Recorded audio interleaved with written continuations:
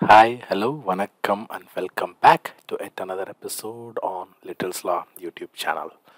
So, in the recent days, we were seeing about various performance, continuous integration, and continuous deployment, development ways using JMeter, the NeoLoad, and LoadRunner with Azure DevOps and GitHub. So, we will take a quick break in this video. So, in this video, we are going to see about how to use use the bean shell preprocessor.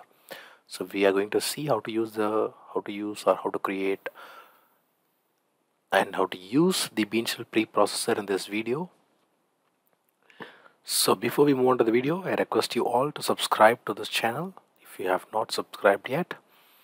So with no further ado let's go. So before that i'm i have divided this video. So we are going to see these following steps in the video. So first thing first so we're going to create a thread group and after the thread group we're going to add a bean shell and generate a random number in it and then we're going to check whether it is created and we'll pass the value in a request and then we're going to add another preprocessor which is the JSR 223 and we will save the random number which which we have generated in this step 2 in a file using the CSV dataset config and then at the end we will use another bean shell preprocessor to increment the random value. So these are the files which you might require or you might need during your scripting where you might need to generate a random number or you might need to increase your increment your value the request where you are incrementing the counters in a random fashion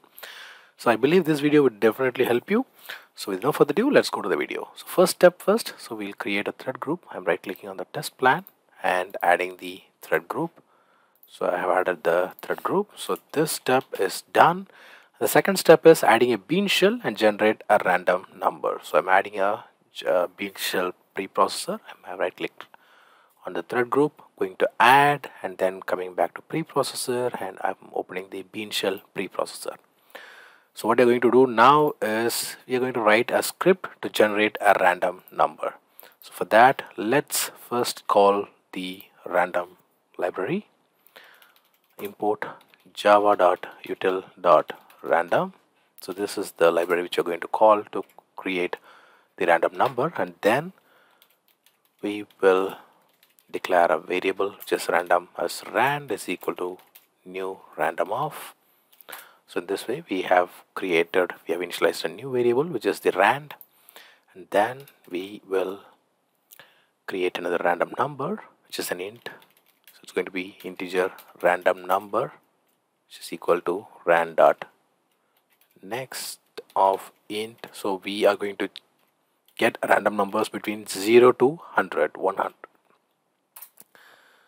and then we will use this vars dot put which will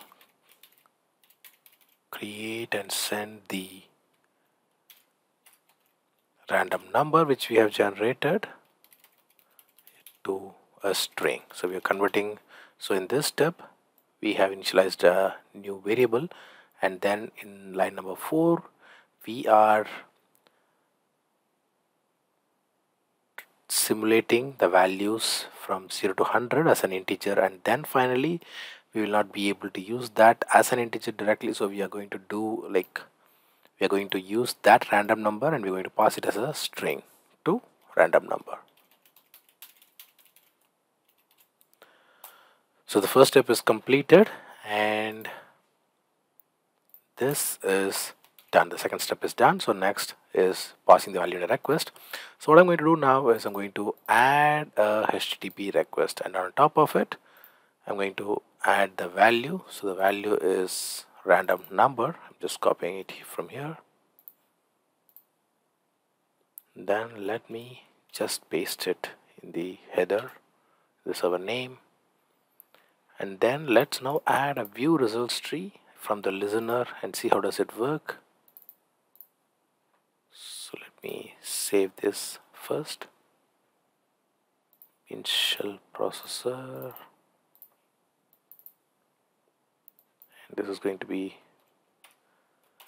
bean shell preprocessor demo.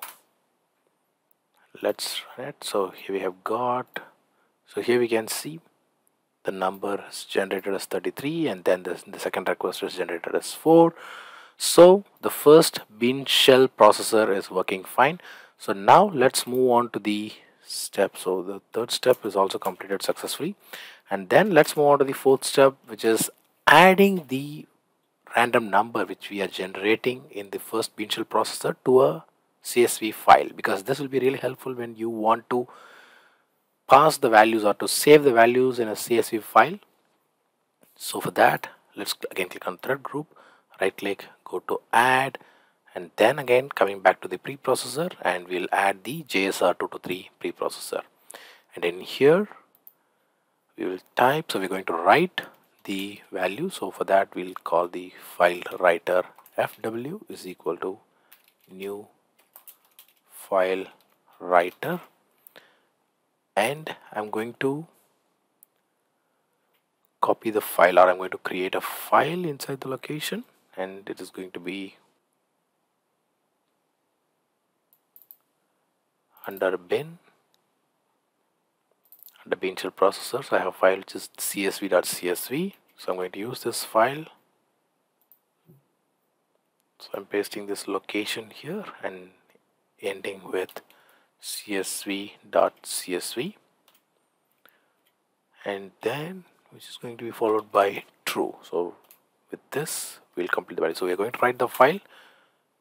Values into this file now and then we are going to append the values. So for example if we are running it for the first time and then when we run this test again so the values will be added to the end. And the value is again it's a random number which we have already declared in our previous script. So we are going to append it in the new line. And for that we'll have to give the slash n which is escape character. And then f w.flush will flush any or will remove any unused spaces and then we'll close the connection. So now we are good.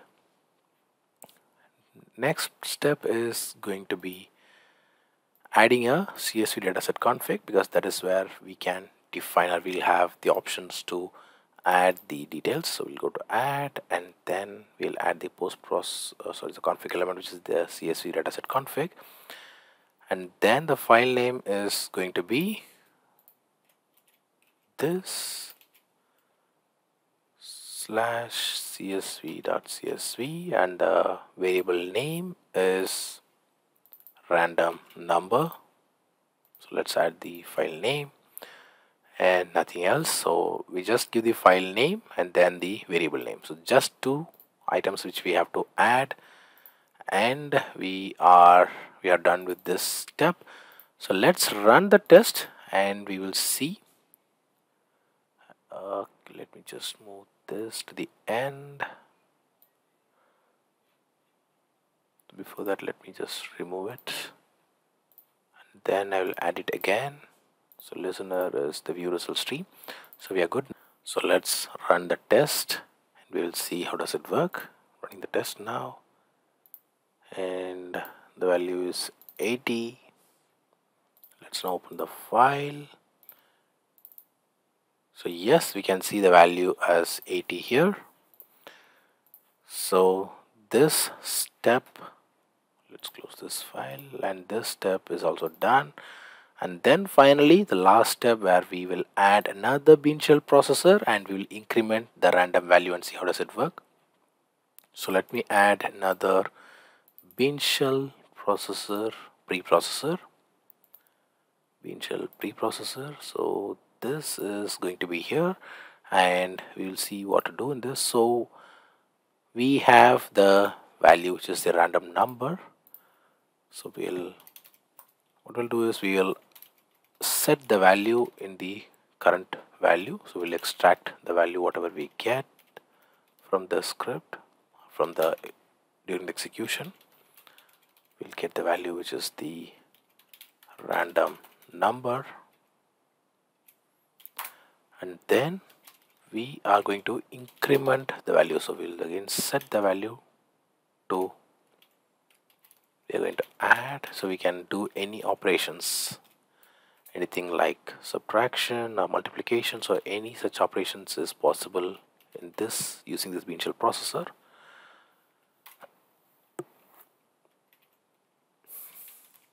So we'll put the value in the random number and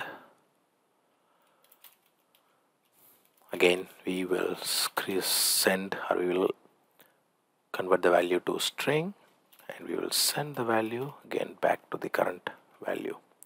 So we're going to make one change here. So what we're going to do is we are going to move this http request to the after the bean shell processor. So so far what we have done is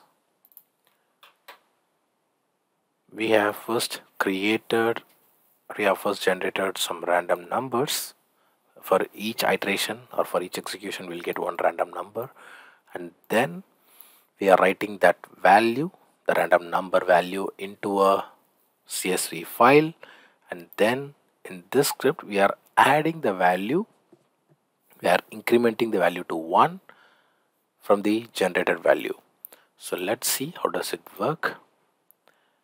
So I'm running the script now. Script is completed running.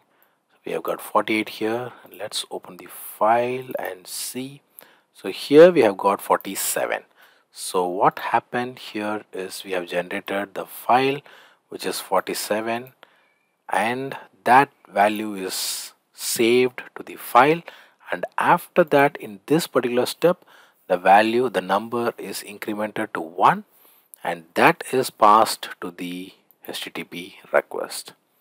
So with this we come to an end and i believe this video would have been very useful to you if you have any queries or any doubts regarding the preprocessors, please do message or ask me in the comment.